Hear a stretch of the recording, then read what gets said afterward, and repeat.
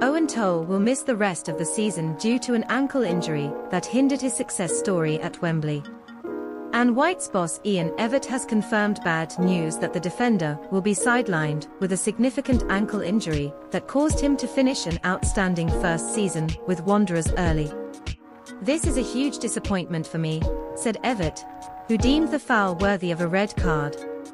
Referees make mistakes, they miss some things. But way rules work and how FA couldn't look at it because referee gave a yellow card means we got it wrong. Eoin will miss important games for us now, and he is a key player. He's played in 23 of the last 24 games, and he really shined.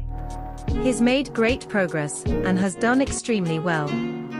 We look forward to working with him in the future, but does not deserve to miss these important matches, these big moments, because he phenomenal and was phenomenal at that stage, at that stage of the game.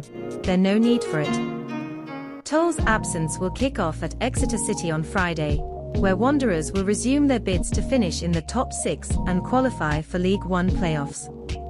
However, Evatt will be able to seek services of forwards Victor Adeboyejo, Shola Shoretire, and Dan N'Lundulu after the trio tied trophy for Sunday's victory.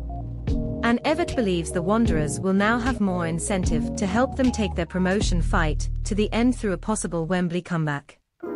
When speaking at the hotel before the game, I made it clear to those who weren't involved that they could gain something from that day and gain some experience, Evatt said. I think they did and what they've won, is that they want to be a part of something like this, because it was such a bright day. That's why we're in the game. We're in the game on days like this and in situations like this to have that feeling. And if we can do that over and over, it will be great for everyone. But there's a lot of hard work to do, starting in a grey and miserable time like today, without fans at Lostock.